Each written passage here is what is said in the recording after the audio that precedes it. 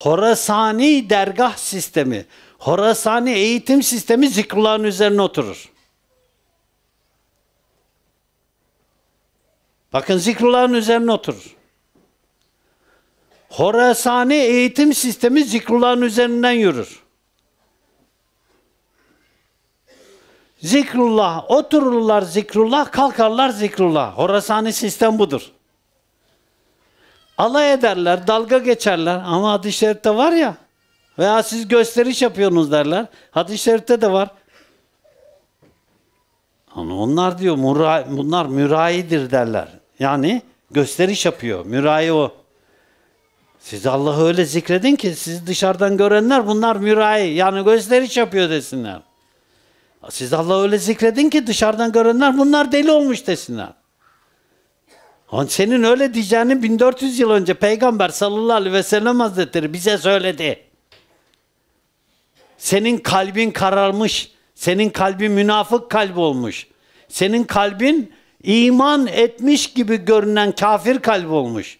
Senin böyle söyleyeceğin Allah Resulü 1400 yıl önce söylemiş bunu. Sen öyle diyeceksin. Sen diyeceksin ki ya bunlar deli gibi kafa sallıyor. Sen diyeceksin ki ya bunlar böyle değil. Ve hatta şöyle diyecek. İlim de lazım. Ya ne? Senin ilimden anladığın ne?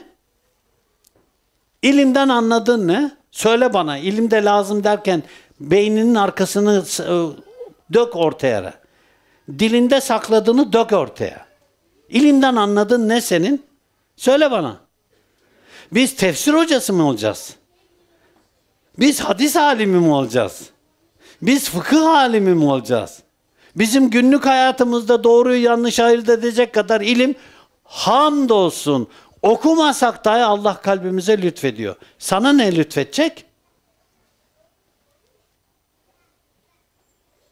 Sana ne lütfedecek?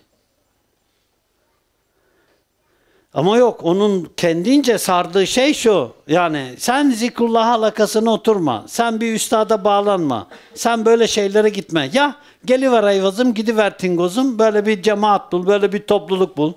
Para toplasınlar. Paranı yesinler. Zamanını yesinler.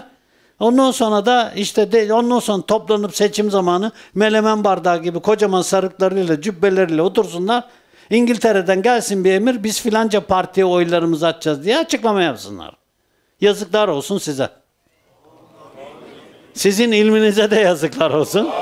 İrfanınıza da yazıklar olsun. Yazıklar olsun size.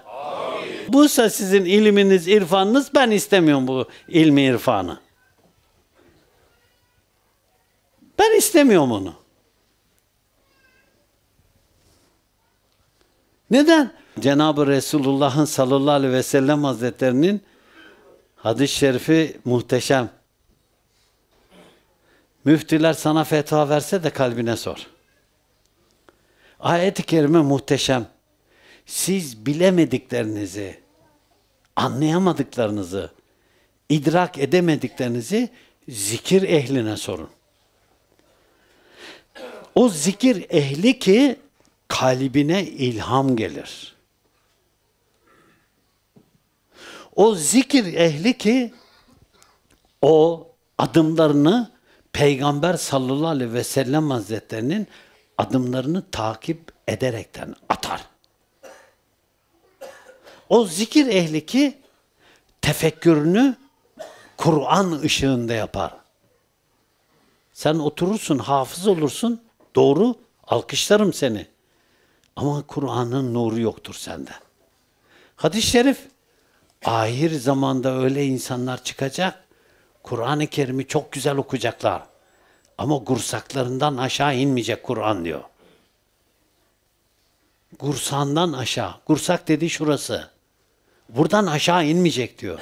Sen o hafızlardansın. Sebep? Çünkü hafızını paraya değiştin. Çünkü hafızlığını makama değiştin. Çünkü hafızlığını sen dünyaya değiştin. Hafızlığını sen makama mevkiye değiştin. İnmeyecek kursandan aşağı. İnmeyecek.